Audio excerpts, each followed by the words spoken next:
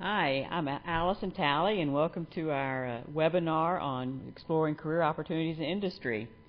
I'd like to recover some of the myths of industry, and later on you'll hear about resume and different job opportunities and, and, and other things about industry. Right now, I know that most of you are in academia and have been in school all your lives so far and, and don't maybe understand or recognize what other opportunities there are. So we'd like to talk about some of those right now and I'm going to cover what maybe you think about industry first. So there you are, sitting there thinking, what am I going to do after grad school? Am I going to go work for the USDA or one of the state governments, go into academia where I'm very comfortable, or go into the private sector? You know, what do I do? How do I pay off my loans? I know these are weighing heavily on you. So it's a, clearly a personal choice in what you want to do but we'd like to talk to you about the industry part of it. First of all, uh, Dave Guduri and a team in 2005 reviewed all the National Science Foundation information and found that 28.5% had employment after they graduated. Uh, this could have been 30% of those were, went to postdocs and about 70% went to, un, to, uh, to unemployment to employment. Uh, employers were academia, 58%, uh, industry 13.8%, and the federal, state, or county governments 23.8%. Uh, others may have been things like consultants. In the next slide, again, we're going to focus on the private sector. What can you do there? Do you think about it?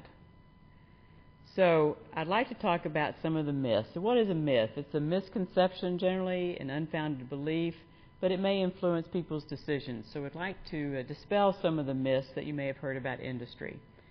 Now these come from our personal observation or comments that we've gotten. It's not any any uh, survey, specific survey that we've done, but just what people have said to us. So some of the things we'll cover are about publications, compensation, our scientific practice, uh, job security, and uh, a bit of miscellaneous potpourri. In the next slide, publish and be damned. We know there's great pressure for you to publish in academia. This is part of the tenure process, uh, and, and, it's you know, really pushed on everybody. And the belief is that in industry, we don't have to publish.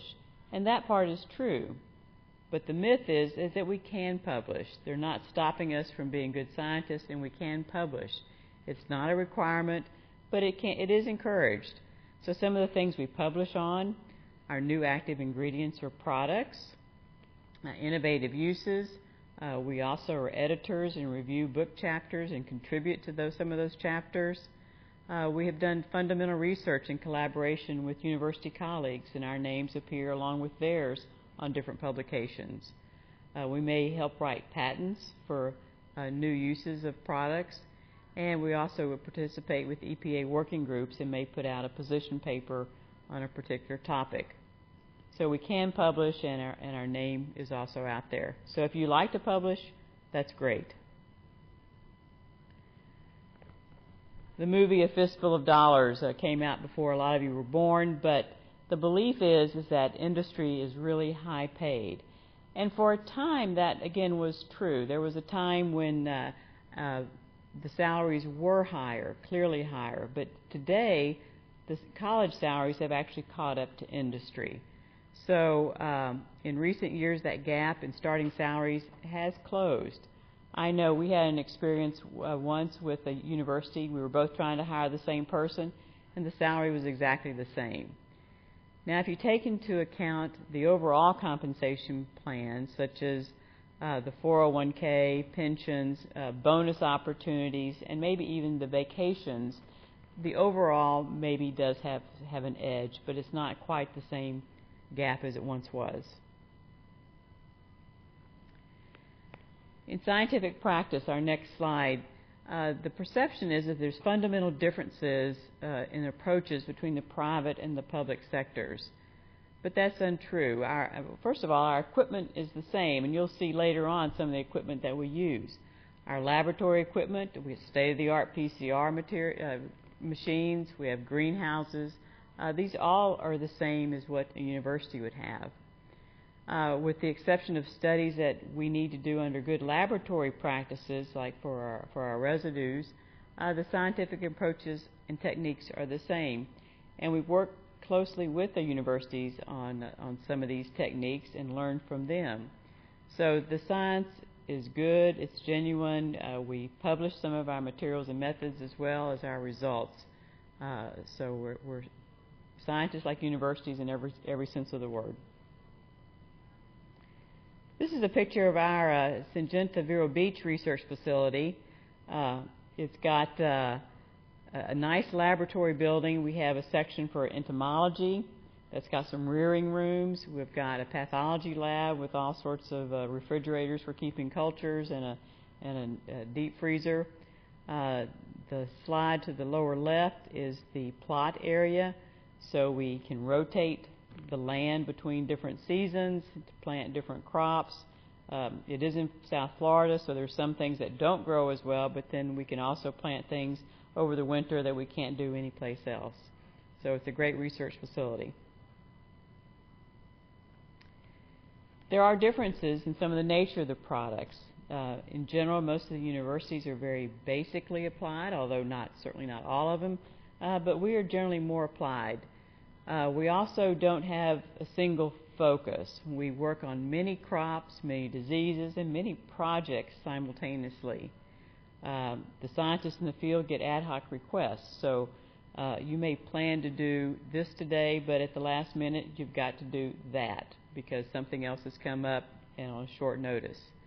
Uh, projects have a shorter lifespan. Maybe uh, uh, people in the universities have the opportunity to really extend their research for several years to learn all about something. Ours have a short focus. We, our goal is to get products registered, labels written, and to the market as fast as we can. And during that time frame, we're doing all the studies we need to try to launch it.